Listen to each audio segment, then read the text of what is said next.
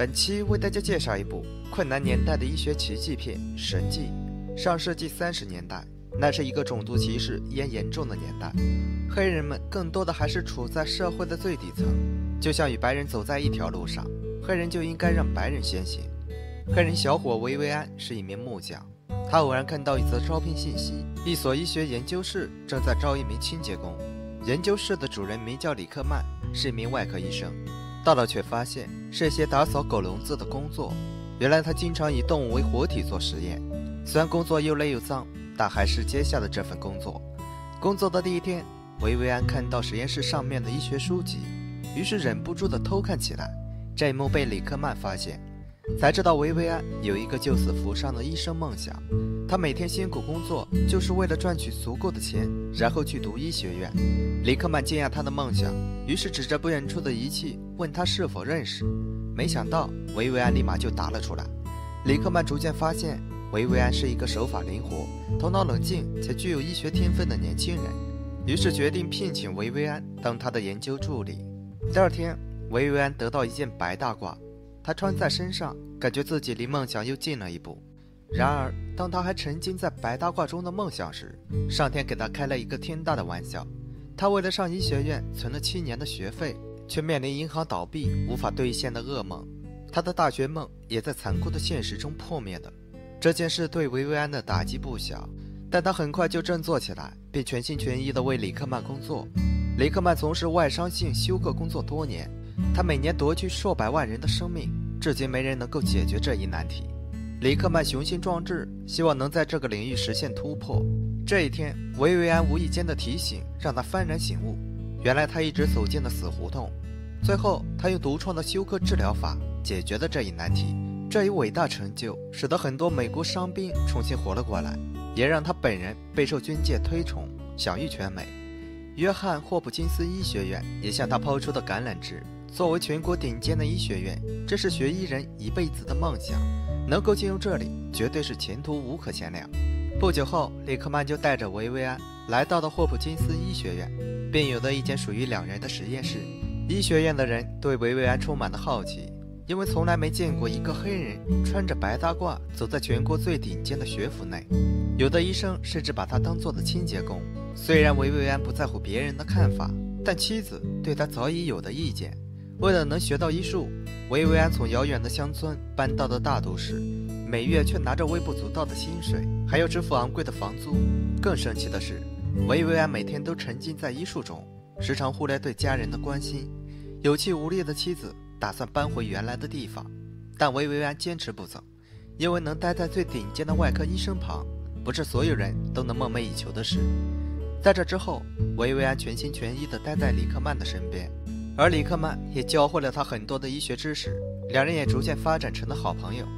然而，由于他是黑人，并且没有上过大学，他在医院中的职称只能是和清洁工一样的三级工人，连医生助理都不算。得知这一真相的维维安有些气愤，自己辛辛苦苦在他身边当了这么多年的助理，竟然还是一个清洁工。他当着里克曼的面脱下了白大褂，只为了丢下手中的工作去给房东修水管，因为房东会支付给他更高的薪水。自持亏大的维维安的里克曼找到了医学院的高层。将他的职位提高到助理级别，并且还给他涨了薪水。随后来到维维安的家中，将这个消息告诉了他。然而这时的里克曼才发现自己这么多年来是第一次到维维安的家中。维维安热爱医学，于是又重新回到了实验室，回到了里克曼的身边。这时医学部来了一位特殊的病人，一位小女孩患上了让医学界无比头痛的蓝鹰症。这是一种普遍出现在婴儿身上的先天性疾病，通常皮肤会呈现蓝紫色。一旦患病，不久之后身体会越来越虚弱，直到死亡。至今没有人能攻克这一难题。里克曼看着躺在隔离箱的女孩，当即决定接下这起手术。